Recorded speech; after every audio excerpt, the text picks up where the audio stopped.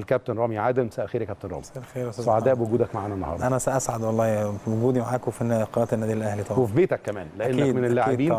اللي لهم مكانة خاصة. في ناس انتقلوا للنادي الأهلي من أندية أخرى وربما ما انتهاش مشوارهم داخل الملاعب في النادي الأهلي لكن فضلوا مرتبطين بالنادي ده بالكيان. بالمسؤولين بالجمهور. أكيد. أنا على طول بعتبر نفسي ابن من أبناء النادي الأهلي طبعا. آه، الأول طبعا نادي المقاولين طبعا هو بيتي الأول طبعا. وبعتبر النادي الأهلي هو بيتي زيه زي نادي المقاولين بالظبط لأن أنا طول عمري راجل أهلاوي من بيت أهلاوي. فما حسيتش إن أنا غريب عن النادي الأهلي خالص ونادي ارتبطت بيه طبعا كل حاجة كويسة فطبعا ده بيتي طبعا يعني زيه زي نادي المقاولين بالظبط. هنتكلم عن مشوارك سواء مع الأهلي أو مع المقاولون العرب. مشوارك هتروح فين الفترة الجاية؟ مجال العمل؟ هل هتتجه للتدريب أو لأي مجال آخر؟ اللاعبين المحترفين دايما بعد نهاية مشوارهم بيركزوا عليه لكن بعد ما نتابع معاكم مع مشاهدينا هذا التقرير.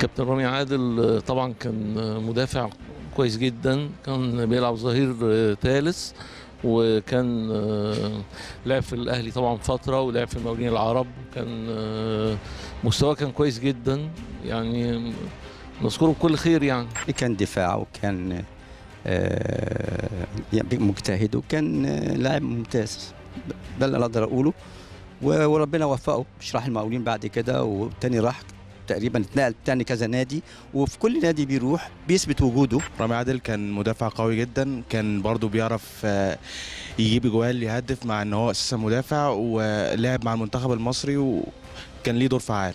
كان لاعب آه، كويس جدا من المدافعين القويين جدا كان آه، رجله كويسة جدا على الجون وكان بيشوط شوط كويسة يعني. وهو راح كذا فريق كويس جدا هو لعيب ممتاز بصراحة.